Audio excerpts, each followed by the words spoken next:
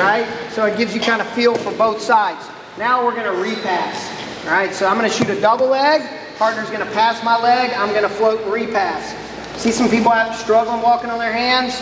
Again, something you've probably never done before, all right? The more we do it, the better we're gonna get at it, all right? So I'm gonna double leg, he's gonna pass my leg, I'm gonna float, keep my chest over his legs, and I'm gonna repass his leg, okay? So, double leg, he's gonna pass, I'm gonna float, float, float. Right when his belt buckle starts to face the mat is my window to repass, okay? I can't wait till he gets me trapped to a hip and starts wrestling here and then I'm thinking about repassing. That window of opportunity is gone, okay? So as he's starting to belt buckle to the mat is when I attack, okay? Notice, I'm diving out, getting two hands to it, getting elbow deep as quick as I can. If you can dive out and get elbow deep right from the jump, no problem, okay? But I want it close to my body, same thing. I'm just driving, feet, passing, and this guy's gotta learn to let go and walk on his hands too all right? If I can pass his leg, he can pass my leg. Technically, we could go on forever, all right? But we'll learn how to ankle duck, and it'll be a whole different, whole different situation. Once we start ducking ankles, there's no more leg passes. But we gotta, gotta build these tendencies so we can be dangerous in all these positions. So I'm a double. He's gonna pass. I'm gonna float, float, float. Repass right here. Now, when I repass, sometimes this guy won't be on his horse. He did a pretty good job of following. So I'm gonna go with our first finish. Okay, just blocking with my knee, squaring up, leg halving, getting to his legs or getting towards his, getting towards his head. Now if I burn him, we're just gonna knee slide out the back door and pick his foot up.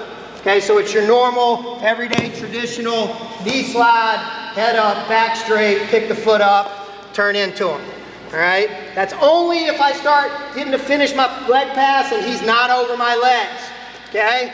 So double, he passes, float, float, float, now burn him. See how I get to this position, knee slide up. I'm tall, I like my chances here. One thing I don't want you to do is leave your foot up here, so knee change. He's not close to my legs. Another thing, I don't want you to, I want you to fight the urge to change hands. Okay?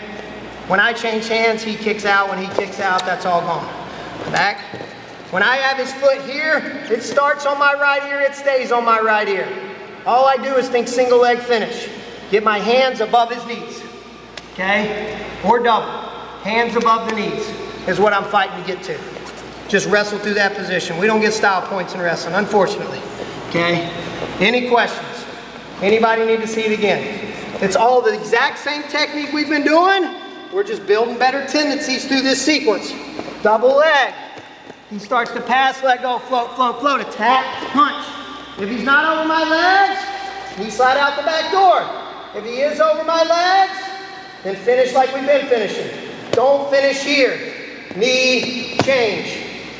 Keep that foot on that side. Finish how you finish there. Just wrestle through that position. Super slow. Go.